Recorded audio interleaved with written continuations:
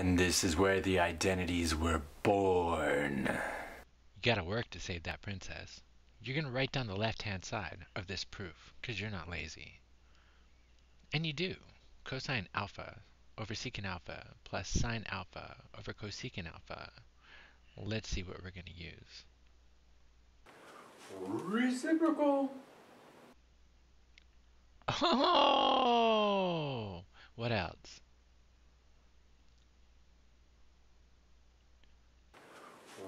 Reciprocal. Yeah! And we do both of those, rewriting those denominators using our reciprocal identities.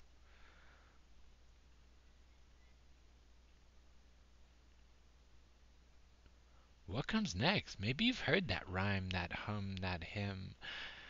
Dividing by a fraction is the same as multiplying by the reciprocal, and that's how we get the cosine squared plus the sine squared. Now this is gonna take a trick.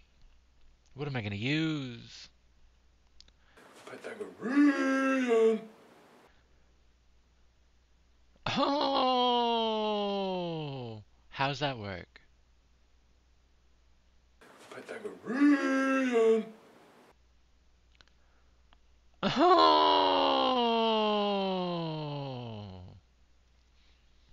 And yes, indeed, that is the right hand side. This one time in math class, this one time in math, real stories from the classroom.